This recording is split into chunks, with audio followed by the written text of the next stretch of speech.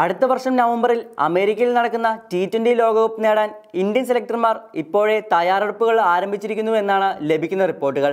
Twenty twenty world കപ്പിന് യുവനിരയെ അണിനിരത്തുകയാണ് മുന്നിലുള്ള ലക്ഷ്യം എന്ന് തോന്നിപ്പിക്കും വിധമാണ് നിലവിലെ സാഹചര്യങ്ങൾ. ഇന്ത്യൻ യുവനിരയിൽ കൂടുതൽ ശ്രദ്ധ കേന്ദ്രീകരിച്ചുകൊണ്ടാണ് ട്വന്റി ട്വന്റി സെലക്ഷൻ നടക്കുന്നത്.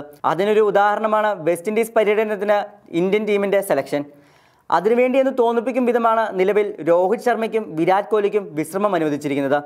രോഹിത് ശർമ്മ ടി ട്വന്റിയിൽ മങ്ങിയതും അതിനൊരു കാരണമായി തന്നെയാണ് ചൂണ്ടിക്കാണിക്കുന്നത്. നിലവിൽ കഴിഞ്ഞ വർഷം ഇംഗ്ലണ്ടിനെതിരെ twenty twenty world cup semi ഫൈനലിന് ശേഷം വിരാട് കോഹ്ലിക്ക് ടി ട്വന്റിയിൽ നിന്നും വിശ്രമം അനുവദിച്ചിരിക്കുകയാണ്. അതേ മത്സരം തന്നെയാണ് രോഹിത് ശർമ്മയും അവസാനമായി കളിച്ച ടി ട്വന്റി മത്സരം. പിന്നീട് ഹാർദിക് പാണ്ഡെയാണ് ടീമിനെ നയിച്ചത്.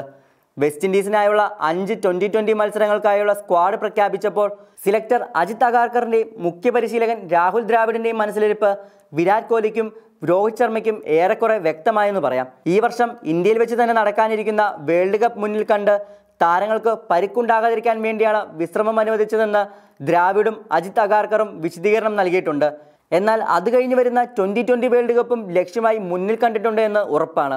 ലഭിക്കുന്ന റിപ്പോർട്ടുകൾ ശരിയാണെങ്കിൽ ഹാർദിക് പാണ്ഡ്യയുടെ നേതൃത്വത്തിൽ ഒരു യുവനിര തന്നെയായിരിക്കും അടുത്ത വർഷം അമേരിക്കയിൽ നടക്കാനിരിക്കുന്ന ട്വന്റി ട്വന്റി വേൾഡ് കപ്പിനായി തയ്യാറെടുക്കുക. രോഹിത് ശർമ്മയ്ക്ക് നിലവിൽ മുപ്പത്താറ് വയസ്സും വിരാട് കോഹ്ലിക്ക് മുപ്പത്തഞ്ച് വയസ്സുമുണ്ട്. നൂറ്റി നാൽപ്പത്തെട്ട് മത്സരങ്ങളിൽ നിന്ന് നൂറ്റി എൺപത്തിരണ്ട് സിക്സുകളുമായി രോഹിത് ഇപ്പോഴും ടി ട്വന്റി സിക്സ് വേട്ടയിൽ ഒന്നാമതാണ്. നൂറ്റി മുപ്പത്തെട്ട് ദശാംശം ഒമ്പത് എന്ന ബാറ്റിംഗ് ശരാശരിയിൽ ടി ട്വന്റി മത്സരങ്ങൾ കളിക്കുന്ന രോഹിത്തിന് ടി ട്വന്റിയിൽ ആകെ മൊത്തം മൂവായിരത്തി എണ്ണൂറ്റി അമ്പത്തെട്ട് റൺസാണ് സമ്പാദ്യമായുള്ളത്. ഏറ്റവും കൂടുതൽ ടി ട്വന്റി മത്സരങ്ങൾ കളിച്ച താരവും രോഹിത് തന്നെയാണ്. എങ്കിലും നിലവിൽ ടി ട്വന്റിയിൽ മങ്ങി നിൽക്കുകയാണ് രോഹിത് ശർമ്മ. എന്നാൽ രോഹിത്തിനെ പോലെ ടി ട്വന്റിയിൽ മങ്ങി നിൽക്കുന്ന ഒരു താരമല്ല വിരാട് കോഹ്ലി.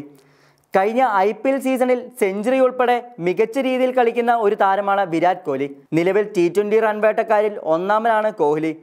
നാലായിരത്തി എട്ട് റൺസുകളാണ് കോഹ്ലി നൂറ്റി പതിനഞ്ച് മത്സരങ്ങളിൽ നിന്ന് അടിച്ചു കൂട്ടിയത് മുപ്പത്തെട്ട് അർദ്ധ സെഞ്ചുറികൾ നേടി ഏറ്റവും കൂടുതൽ അർദ്ധ സെഞ്ചുറികൾ നേടിയ താരവും തൊണ്ണൂറ്റാറ് മത്സരങ്ങളിൽ നിന്ന് മൂവായിരത്തഞ്ഞൂറ് റണ്ണുകൾ നേടി ഏറ്റവും വേഗം മൂവായിരത്തഞ്ഞൂറ് റണ്ണുകൾ തികയ്ക്കുന്ന താരവും കോഹ്ലിയായി.